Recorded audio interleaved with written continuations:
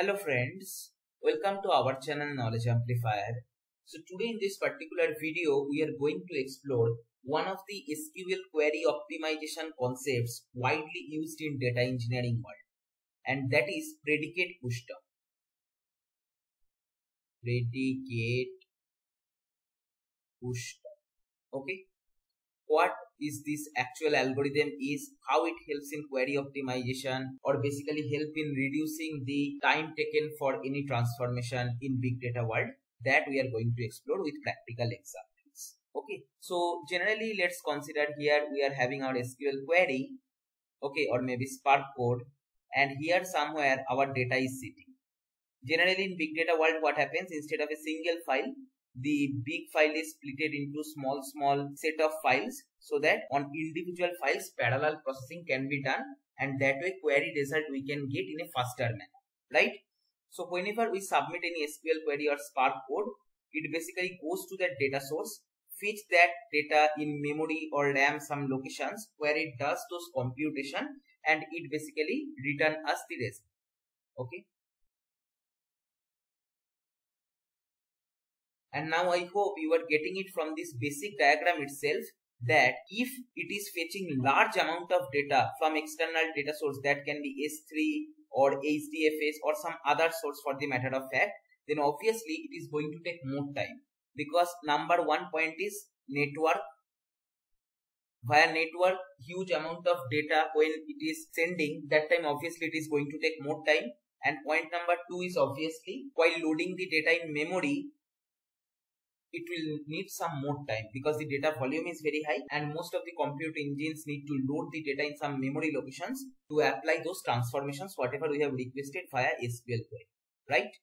So these two are major blockers when we run some SQL query on large volume of data. So now the obvious question is how to optimize this process so that lesser volume of data can be moved from the storage location to the compute platform.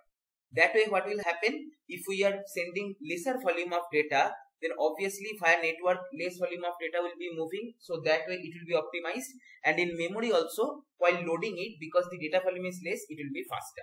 So that way obviously time taken to run the query will be lesser compared to default case when we are using big volume of data right? Now one of such technique what we can apply to improve this particular situation is predicate boost so how it works, let us try to understand.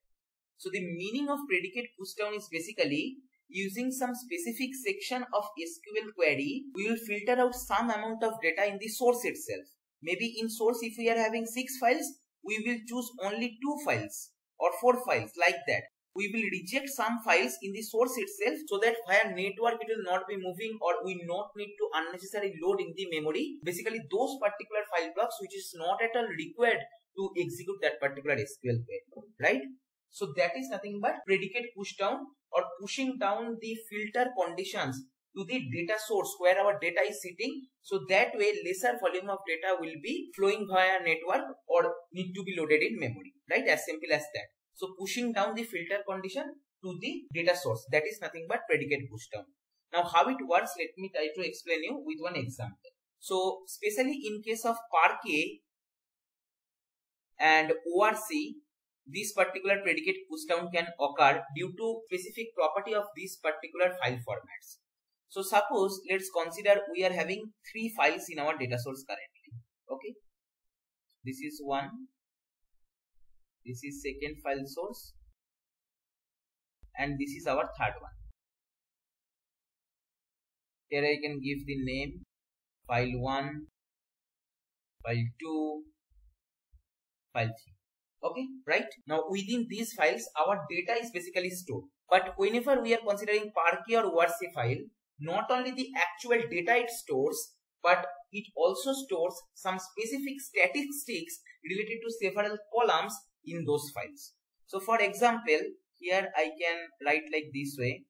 So this particular section will be used for storing stats and here our actual data will be sitting. Okay like that way for this particular file also there is some stats block. And here this particular file also there is some stats block. And these words remember these words only for Parquet and ORC okay? Now let's consider our data for a particular column. Here it is stored like 1 2 3 okay? In the file 1 in the file 2 it is 4 5 6 and in the file 3 it is stored like 7 8 and 9 now suppose i am executing a simple query. Select star from table and this table is suppose external table which is created pointing to our this particular S3 storage location. Okay, maybe table name is table 1, right? And here I can put a filter where and suppose these values are belonging to a particular column, the column name is col1. Okay, col1 equal to 9. Suppose this particular SQL query we are executing, right? Now whenever this kind of query will be triggered from Spark or Athena query engine, if you are considering a normal situation, what would have happened? It will go to these data sources, it will fetch all the data, maybe it will load in some memory location and then it will scan all the files where this particular column 1 value 9 is stored, right? Now let's explore how predicate pushdown works with this stats information. So in case of Parquet and ORC, as I told you that there are some stats block also stored related to some different columns and let's consider two very important stats which are stored is max and min related to different columns. And suppose for this file 1 on the heading section, here we know that min value whatever is stored for this column 1 in this particular file is 1 and max value is 3. Okay. For this particular file, suppose already in some location it is stored that min value is 4 and max value is 6. For this particular file, in the stat section it is stored min value is 7 and max value is 9. Now let's try to execute this query where col1 equal to 9. Now col1 min value max value already we are getting from stats information. We no need to scan the whole file actually. All we can do, we can go to the stats section and we can check where this col1 equal to 9 value might come.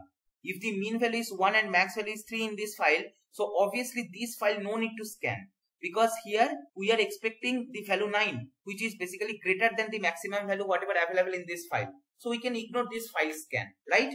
Now coming to this file, here this also will be rejected in the source itself, okay? Only if you consider file 3 max value is 9 and we are also searching for that row where col1 equal to 9. So this value is lesser than equal to maximum value whatever stored in this file 3. So we need to only scan this file 3 to find out that particular row for which the col1 value is 9. So that way I hope you are getting it only using some statistics information whatever Parquet or ORC by default stored in different files we are basically rejecting file 1 and file 2. So in the data source itself we no need to scan this file 1 and file 2 no need to send via network no need to load in some memory location right because those are already rejected in the source itself and this way it is optimized because lesser volume of data we need to scan. Obviously statistic scanning we have to do but statistic scanning is pretty much faster compared to the whole data scanning. So this is what predicate pushdown is all about. That is specific section of SQL query we are using to push down query to the data source itself. So I hope you are getting the meaning of push down that is basically pushing down the filter towards the source data. And what is predicate? Predicate is basically this particular SQL query. Okay? Because SQL query is something which is trying to consume the data or do some computation. So it is kind of acting like a predicate right? So SQL query is called predicate and push down is basically this particular feature where using the stats information available in the files we can ignore scanning some certain section of files and only consider our required files where our actual data is sitting so this is all about predicate pushdown, Athena query engine, Spark query engine and many other cloud data warehouse platform basically use this particular optimization technique to run any transformation or query faster. And this is a very important data engineering or big data interview question as well. So I just thought to cover this. If you find this particular concept insightful, then please like, share and comment. Subscribe our channel if you have not subscribed till now. And don't forget to press the bell icon to get the notification of our latest videos. Thank you for watching.